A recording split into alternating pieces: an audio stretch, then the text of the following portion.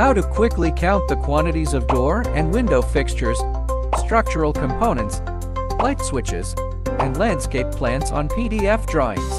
These three methods make it effortless for you to verify even hundreds or thousands of equipment components.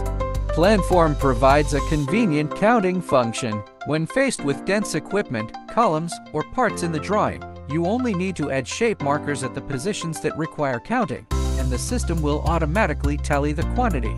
For a large number of repeated graphics, manual counting is inefficient. Try the search shape function.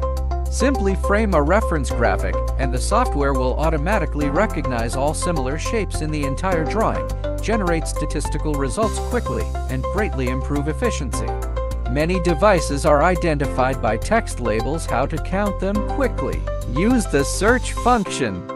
Enter keywords to locate all related devices with one click. After batch marking, the quantity is automatically summarized, avoiding omissions or duplicate counts. For the problem of counting on PDF drawings, just use these three methods. Give them a try now.